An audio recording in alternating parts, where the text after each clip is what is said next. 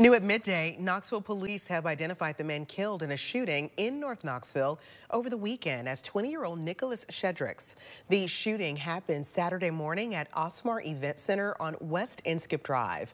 We are told nearly 300 people were gathering at the event center for a party when a fight broke out in the bathroom. The fight continued until the suspect pulled out a gun and fired at least one shot, killing Sheadricks. KPD says the suspect fled the scene and has so far not been arrested or charged. Anyone with information on the incident is asked to contact the East Tennessee Valley Crime Stoppers. You see that number at the bottom of your screen. It's 865 215 7165.